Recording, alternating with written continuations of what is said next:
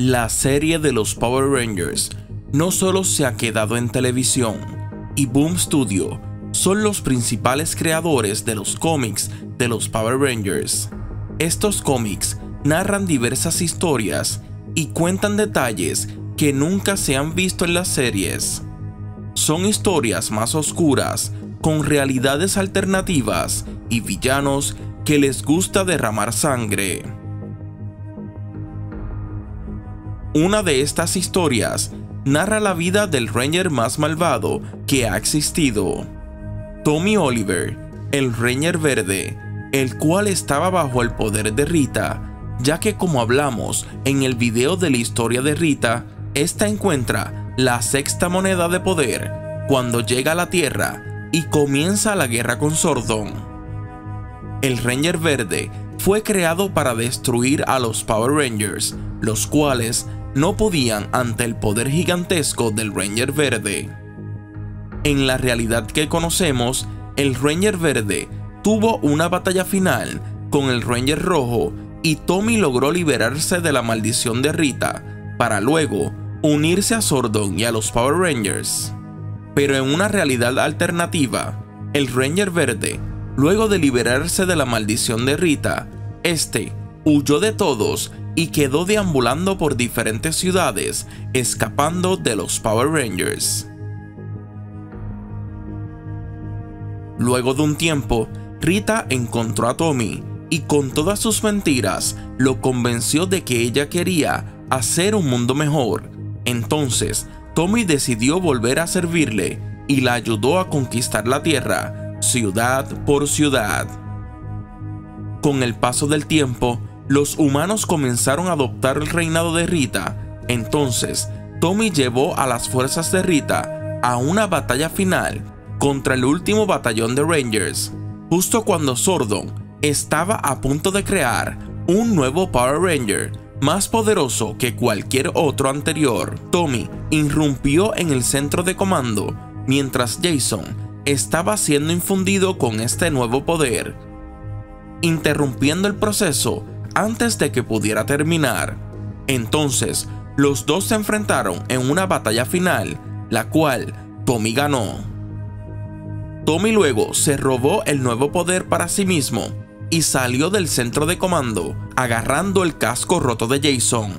Tommy y su ejército lucharon con los Power Rangers hasta derrotarlos y destruyendo sus swords para luego conquistar la Tierra en nombre de Rita. Esto llenó de ego a Tommy, el cual a espaldas de Rita intentaba dominar la Tierra por sí mismo. Entonces Rita, muy confiada, le enseñó todos sus hechizos y cuando éste los aprendió todos, traicionó a Rita y la eliminó. Luego Tommy convirtió a Finster en su sirviente y lo transformó en una especie de cyborg llamado Finster 5 ya que llevaba partes de Alpha 5. De aquí en adelante, el Ranger Verde dejó de ser Tommy y se convirtió en Lord Dragon, el Ranger más poderoso y malvado jamás antes visto. Lord Dragon buscaba crear un super ejército, así que recurrió a las monedas de poder y comenzó a transformar humanos en soldados con las vestimentas de diferentes Power Rangers que cada cual llevaba una tarea diferente, llamados Ranger Sentries. Por otra parte, los viejos Rangers crearon un movimiento de resistencia llamados The Coinless, lo que se traduce a los sin monedas. Pero Kimberly, la Ranger Rosa, se había ido en solitario para tratar de vengar la muerte de Billy a manos del régimen de Dracon. Cuando Lord Dracon encontró a Kimberly, le hizo un hechizo que Rita le había enseñado para lavarle el cerebro y la convirtió en su Ranger Slayer.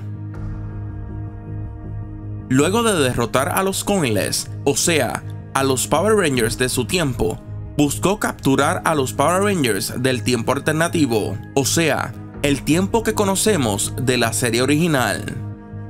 Lord Dracon logró capturar a su contraparte, Tommy Oliver. También capturó a Billy y a Trini, los Power Rangers azul y amarilla. Estos dos formaron un plan para detener a Dracon y es que la Trini de la realidad de Lord Dragon había escondido la última moneda de poder del Billy de esa realidad, así que usando esa moneda, crearon una explosión de energía que eliminó tanto a Dracon como a sus Ranger Sentries al modificar la fusión de teletransportación. La explosión de energía liberada por el Morpher durante esta táctica rompió la moneda de poder de Dracon, dejando a Dracon en un breve estado de conmoción e inseguridad por la pérdida de su poder. Luego, Lord Dragon trata de incitar a su contraparte, Tommy Oliver, de la realidad que conocemos, hablando de cómo la amistad es una debilidad y los amigos de Tommy eventualmente le fallarán cuando más los necesite. Tommy se niega a escuchar y lucha contra Dragon. Después que los amigos de Tommy lo encuentran, en lugar de enfrentarse a la derrota, Dragon salta por un precipicio hacia lo que Tommy cree que es su muerte. Este personaje ha sido uno de los mejores aceptados por el público, ya que es un villano que rompe muchos esquemas, destruyéndolo todo, incluso eliminando Rangers y villanos poderosos del pasado. Incluso la historia del videojuego Battle for the Grid se trata de la conquista de Lord Dragon y cómo los Power Rangers deben luchar para derrotar a este poderoso villano. En lo que podemos decir de su personalidad, Lord Dragon detesta a su yo alternativo, el Tommy Oliver de nuestra realidad, ya que representa el bien y la bondad, considerándolo una sombra contaminada y débil de la poderosa imagen que ha cultivado de sí mismo.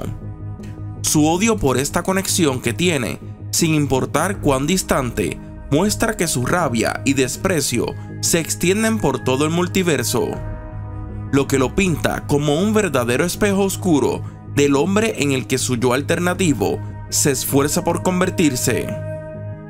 En muchos sentidos, Dracon representa los peores temores absolutos que Tommy del universo principal tiene sobre sí mismo.